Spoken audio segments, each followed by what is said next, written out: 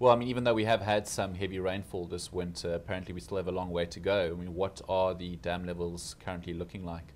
Well, across the country, dam levels are between about 40 and 60 percent. So KwaZulu-Natal is, is the emptiest uh, on a, prov a, provincial level mm. at about 40 percent. And then um, the other provinces are all, uh, are all at around 60.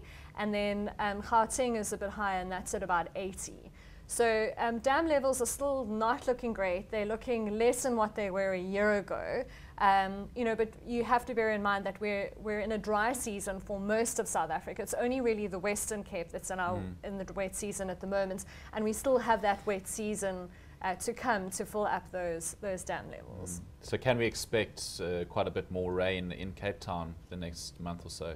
Well, we always hope so. Mm. Um, you know, cl uh, climate models, or not climate climate data shows that September and April have more or less the same amount of rainfall in Cape Town. So mm. just to give you an idea.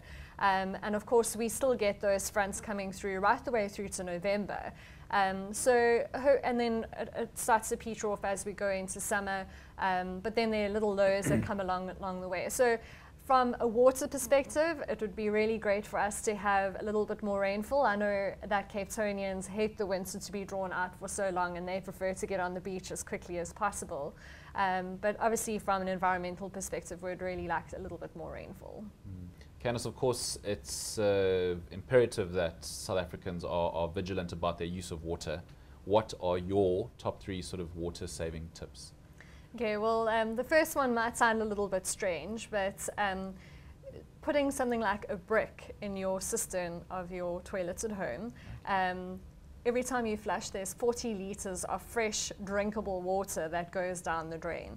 So that for me is one of those things that it's just a complete waste of water to see all of that drinkable water um, going down into the sewage system again and obviously having to go mm. through the cleaning process.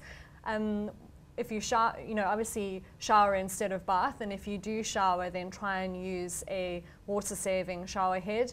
Um, and one of the easiest things to fix is make sure that none of your taps are dripping.